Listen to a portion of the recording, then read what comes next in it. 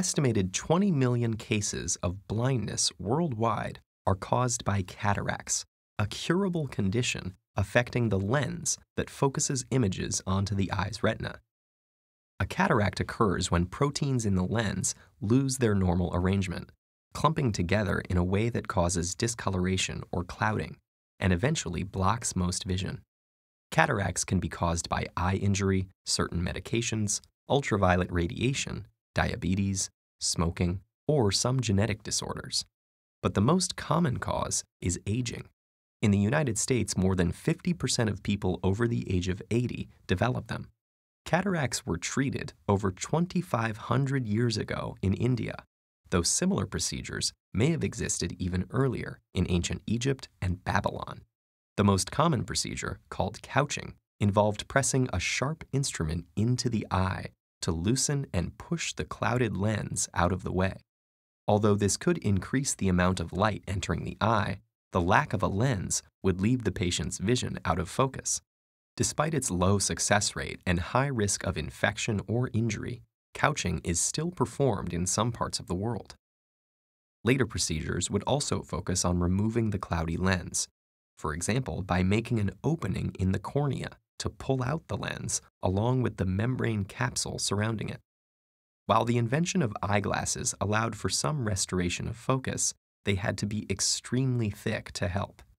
Furthermore, such techniques still caused complications, like damaging the retina or leaving the eye with uncomfortable stitches. But in the 20th century, something unexpected happened. Eye surgeon Sir Harold Ridley was treating World War II casualties when he noticed that acrylic plastic from a shattered aircraft cockpit had become lodged in a pilot's eyes without triggering an adverse reaction. This led him to propose surgically implanting artificial lenses into the eye to replace cataracts, and despite initial resistance, the method became standard practice by the 1980s. Since Ridley's discovery, the intraocular lens has undergone several improvements. Modern lenses can fit into the membrane capsule that the cataract is extracted from, leaving more of the eye's natural anatomy intact and the ability to fine tune the lens curvature allows the surgery to restore a patient's normal vision without the need for glasses. Of course, surgical techniques have also progressed. Microscopic procedures use small instruments or lasers to make precise incisions of 1 or 2 millimeters in the cornea, while an ultrasound probe breaks up and removes the cataracted lens with minimal trauma to the eye. Low-tech versions of this operation have made the surgery quick and inexpensive, helping it spread across the developing world.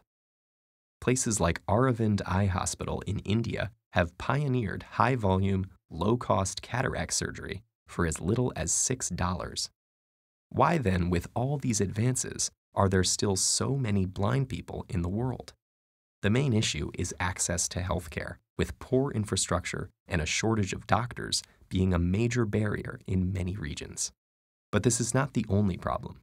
In many rural areas with poor education, blindness is often accepted as an inevitable part of aging, for which someone might not think to seek treatment. This is why information is crucial. Increased community awareness programs and the spread of mobile phones mean that many of those who might have remained blind for the rest of their lives due to cataracts are now reachable, and for them, a brighter future is in sight.